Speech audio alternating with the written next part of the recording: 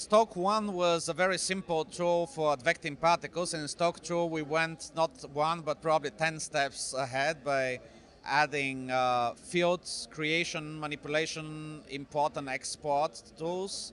We also uh, merged Genome, which used to be a standalone, uh, not standalone, but a separate plugin for um, deforming and selecting vertices and faces and basically doing uh, a geometry manipulation on objects in 3ds Max. We wrote it into the Stoke package and also gave it the ability to sample those fields that I mentioned before. So uh, it integrates much better with uh, the whole package. And we basically tried to make uh, Stoke to uh, be the glue between various subsystems of 3ds Max that couldn't talk to each other before.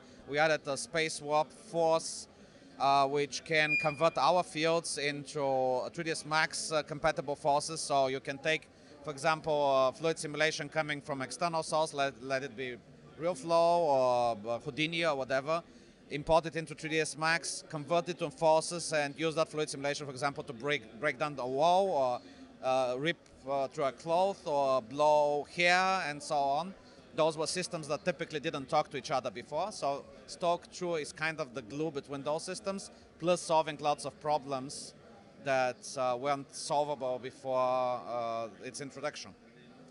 So can you go into like some of those problems that were not solvable before? Is that because they were physically based, or it's it was mostly the ability to uh, store historical information in 3D space. For example, 3ds Max has always had procedural texture maps that can generate a value in every point in space, or you could um, also uh, use the modifier stack in many cases to do certain things with geometry, but there was no concept of fields except for external third-party plugins for fluid simulation uh, fields weren't really uh, there as a concept. We even flow our fields through the modifier stack of 3ds Max, can convert a mesh to a field and then a field to something else again and so on. So we try to integrate it really deeply.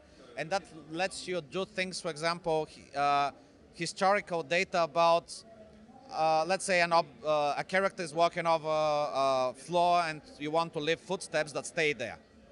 There have been tools that were developed specifically for that purpose, but we can use our general tools to say, okay, in every point in space, we're going to check if the foot is there or not, and we can store that data, and then we can resample that data any way we like. We can turn it into particles, we can turn it into a texture, we can put the texture into a displacement modifier in V-Ray and get render time displacement, and the footsteps could stay there or slowly release by just reducing the value over time and we cache all the data in OpenVDB format on disk. So once it's simulated, you can scrub the time slider really fast and everything runs uh, very, very uh, quickly. So um, you can create wet maps, for example. If you have a fluid simulation imported into 3ds Max and you want your material to change its properties when the fluid touches a wall, you can just create a voxel grid around, check when the fluid is passing by, remember that information, convert again to a texture map, pass to the material system, and voila, it works.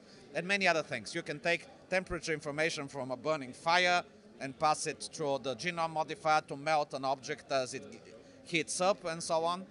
Many things uh, could have been possible if we were specifically designed that way. That means anybody could write a 3D, uh, 3ds Max plugin that solves those specific problems, but we are providing a tool set that doesn't solve a specific problem. It gives you all the modular elements, uh, node-based uh, um, modifiers and simulators, and all these components that can be plugged together in order to solve any problem that you might get that you don't even know that you have.